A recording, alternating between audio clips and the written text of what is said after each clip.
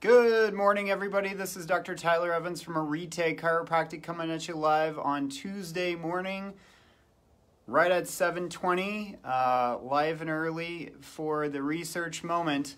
Uh, today, what I want to talk about is a brand new, I believe it's a chapter in a textbook that uh, uh Scott Rosa, John Baird, and David Harshfield uh, just produced. Uh, really, really well done.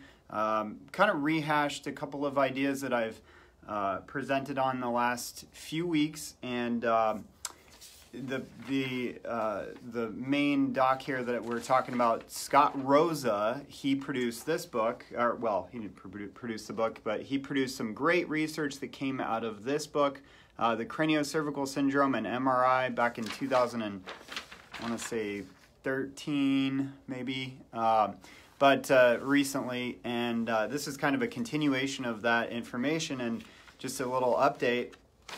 And, and it just continues on, on onto why the heck is your neck so important and what the heck is craniocervical syndrome. Um, so a lot of patients come into our office and have head pain, neck pain, dizziness, um, a lot of other symptoms that kind of go along with those those lines and they've been to a lot of different practitioners. They've been to a lot of other places. Uh, they might have been to the chiropractor. They might have been to the mas- massage therapist. They might have been to the general uh, doctor, maybe even the neurologist, and they just aren't getting answers as to why their symptoms are there. Well, that's what craniocervical syndrome is. It is a misalignment or malformation of the top joint up here and how it affects the rest of the body. It can literally affect your brain and your whole body down, and I'll tell you why. So, the joints in the craniocervical junction consist of this bone here, which is your occiput, this bone here, which is C1, and then this bone here, which is C2. Now, this joint is very important because through this hole runs a lot of important stuff. It includes your brain stem. Your brain stem sits right in here the base of your brain sits right here, and the, the area of this uh, part of your brain is what controls breathing, heart rate, respiration, um, uh, immune function, digestion, all kinds of things, because uh, that's the, the reptilian brain, that's where it lives. And so if we have a problem, hey Janelle, good morning. Um, so if we have a problem in that upper neck that might be looking something like this, like a misalignment of the joint, uh, it can compress the nerves up there because there are attachments at the bone into the, the brainstem, into the spinal cord. And so um, what we see in this office is that, uh, you know, people have accidents and injuries like whiplash, like car accidents. And what happens is that that very delicate joint, this joint right up here, can be twisted and locked out of position.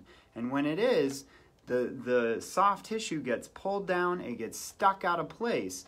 And so no matter where you go, if you go to the, good morning, and if you go to the, uh, if you go to the chiropractor, it may not uh, uh, get what we want to do here, that upper neck so that the, the, the connection between the brain and the body is restored so that the, um, the body can heal again. And what we see is in these, these uh, car accidents, in concussion injuries, where we've had a blunt trauma to the head or the neck, there's just not a lot of help that's gotten uh, in the regular healthcare model.